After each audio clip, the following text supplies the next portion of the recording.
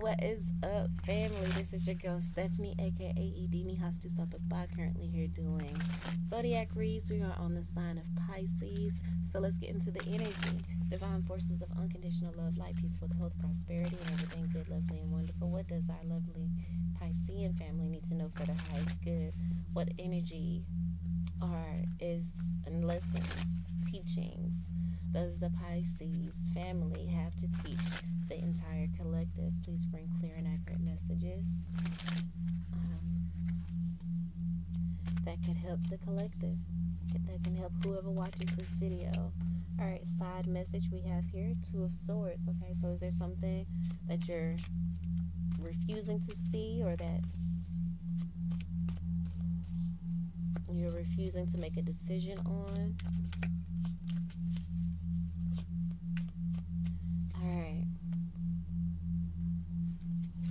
where it says, if there is, be confident. Make the decision. You have everything you need. You are fully equipped to do whatever you need to do to be triumphant.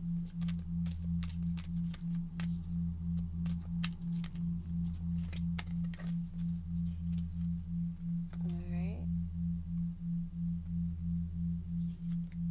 You're allowing, you know, this unfounded fear to keep you up at night. You know what I'm saying? You may have some anxiety, this decision that you need to make. Uh, Um, there's a decision that it needs to be made that you have this anxiety about, but there's no reason for it. There's absolutely no reason for it, according to the cards here, because we have the Queen of Wands. Let's get clarity, more clarity. Please, on the Queen of Wands and the Nine of Swords. We have the Nine of Swords clarifying uh, the Queen of Wands side, side message. It's the Sun card. Like, exactly. You know, there's so much happiness and joy on the other side of this decision. Okay, and it, ha- it could have something to do with, you know, reconciling with someone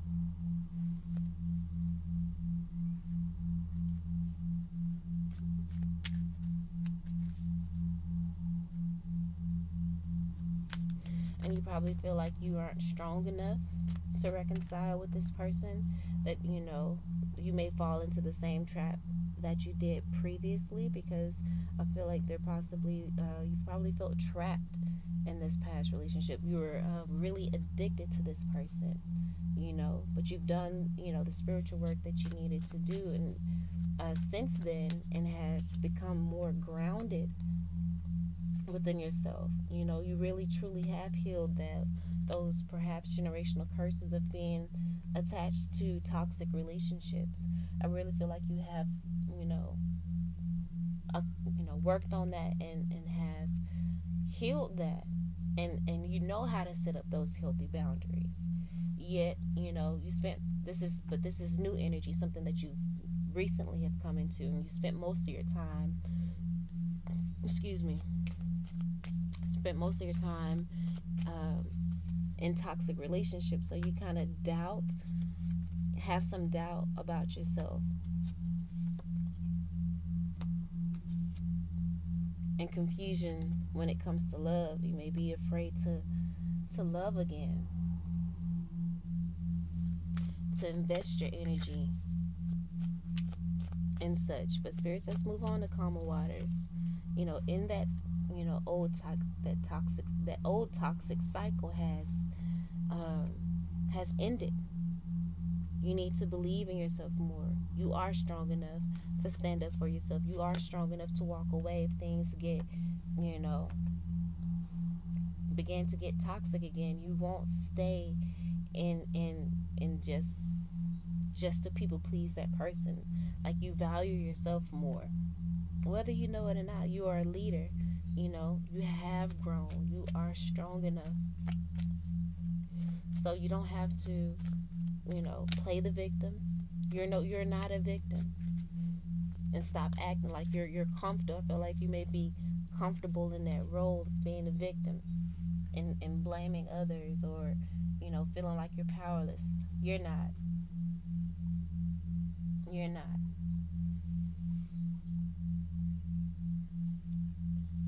And the strength to pull yourself up out of any heartbreak or betrayal that you may walk into. Don't allow life, don't allow, you know, past situations and um, relationships that fail to, to make you jaded about life. You know, if you do, then they win. You have, your mind, body, and spirit is on one accord. Okay? And your ships are coming in.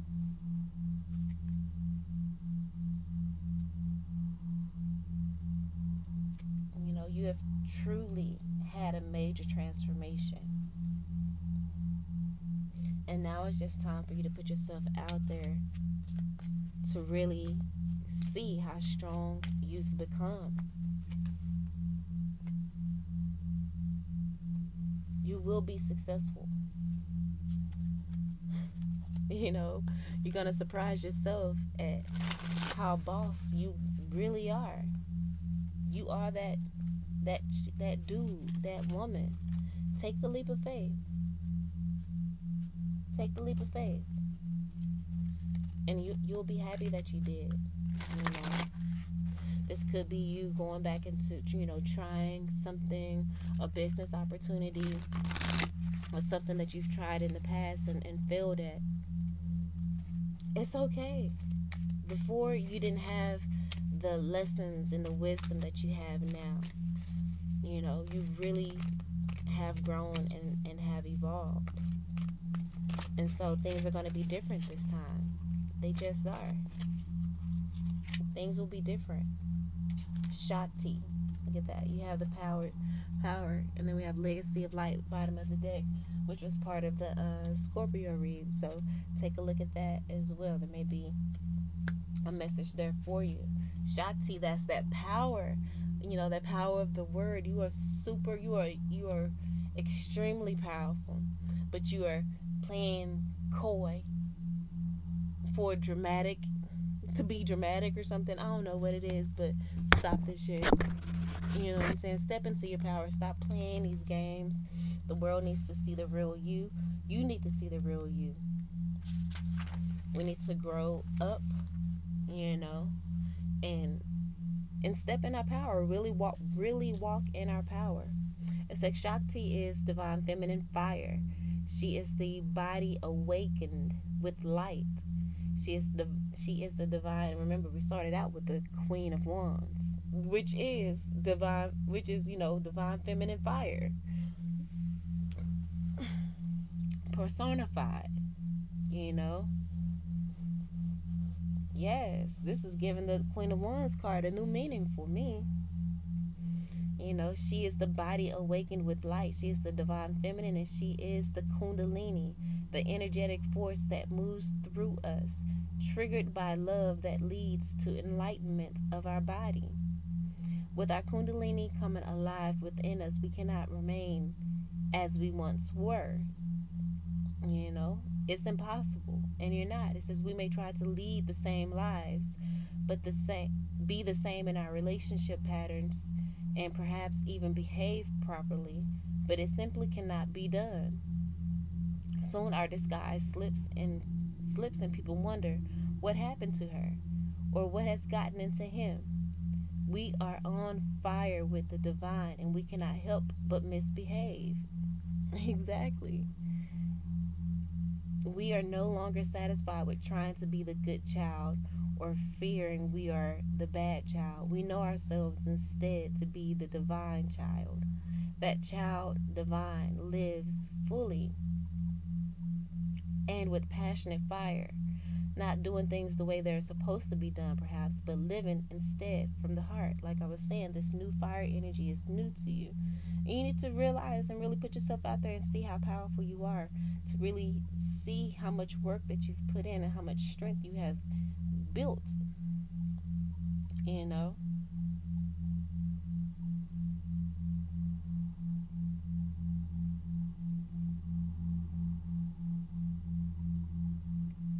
Body may ache as we burn through old pain.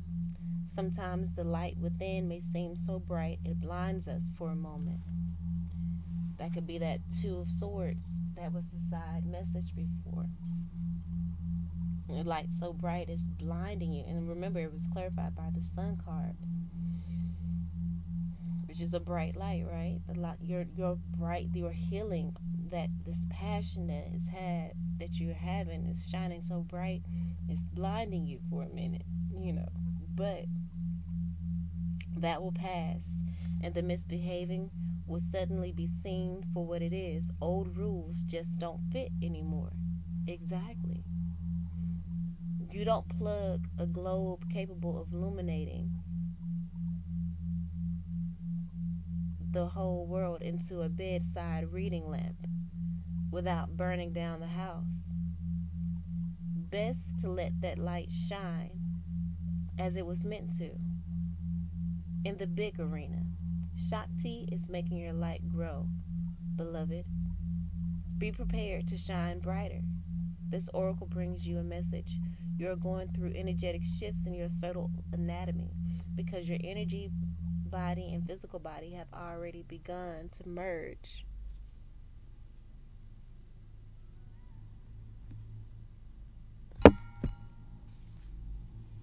Have already begun to merge with each other. The energetic shifts will affect your physical body too.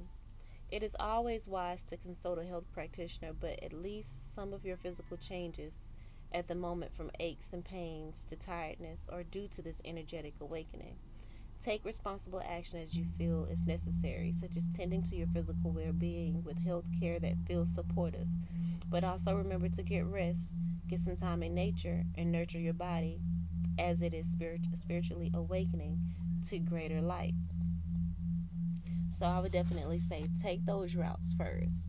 Take the natural routes first because nine times out of ten, you, there's been plenty of stories where people have gone through an awakening. Their body has gone through an awakening. They go to the doctor, and the doctors cannot diagnose that. you know, they really they can't. There's not really much that they can do. Um, but at the same time, there could be there could be, you know. But I would say try, you know, um, getting more rest if you can.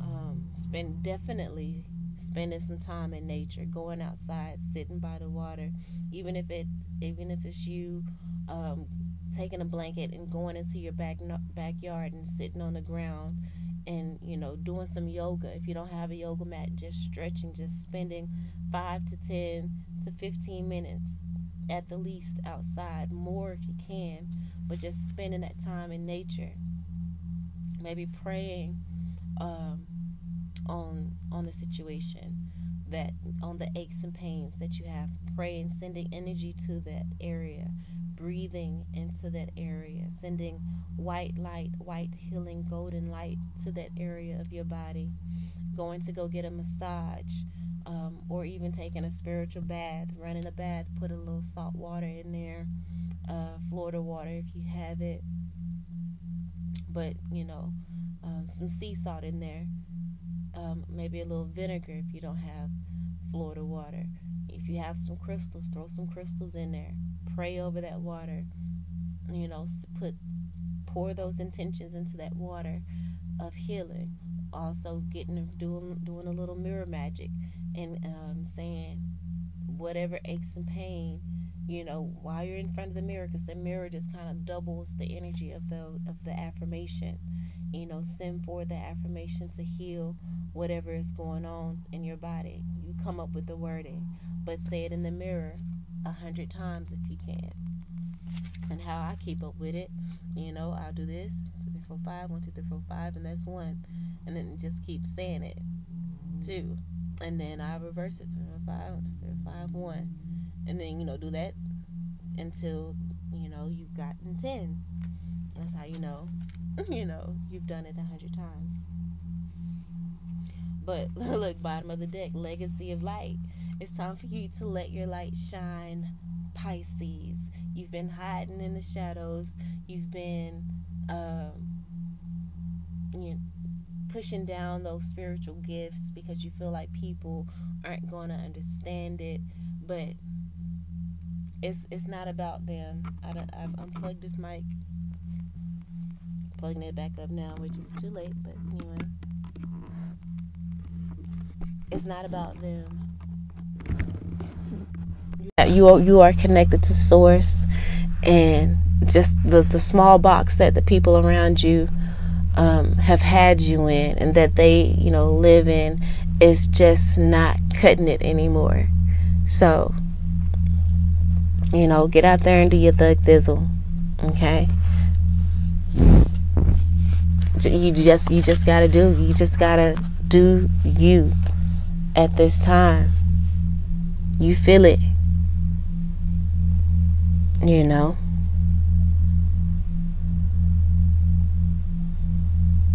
Stop lying to yourself about how powerful you are. You have the strength that you need now, and you are equipped. So, whether it's trying something that didn't work out in the past, again, do that. You know, whether it's, you know, reunited in a relationship from the past, you know, giving it another chance. Don't be afraid to. Because again, you are the queen of motherfucking Wands, okay? You are divine feminine fire. You have that fire. So if they start acting wrong or stepping out of line, you gonna get them together. And if they don't get if they if they can't keep, you know, get you know, get their shit together, you know, then you ain't got no problems. It ain't nothing to cut that bitch off. You're not that same you know, person that you were before. You're not. Simple. Plain. and it just is what it is. You're not that victim anymore. You're not. Believe it. And do what it is that you want to, whatever it is that you want to do. Because you got the power to stand up for yourself and to make things manifest. That that mirror mirror magic saying it a hundred times in the mirror is is is a, a good way to manifest not only healing but any other things that you want in your life. Use that employ that and watch how much you know more of your power you step into. You know because you know you can call in what you need and you can do that already but because source god the most high just like the birds of the air he provides for them he will provide for you you know? But now it's just that we have to have that faith and to know that and to walk in that. And that's when we'll be able to see more clearly because there's no distractions of fear and worry and doubt or you know just denial and wanting to play small. No. Be who you came here to be. And you didn't come here to play small. You didn't come in here you didn't come here to live by someone else's rules. You are an individual. Walk in love, light, and, and integrity. Make sure you're not imposing on anyone else's free will. But let your light shine. Don't dim it to make other people feel comfortable. No. Live your life. If it challenges them or makes them insecure, that's a personal problem. That's not your burden to carry. It never was. All right, so that's what I have for you. I hope that helped in some way, shape, form, or fashion. I love you all, and until next time, peace.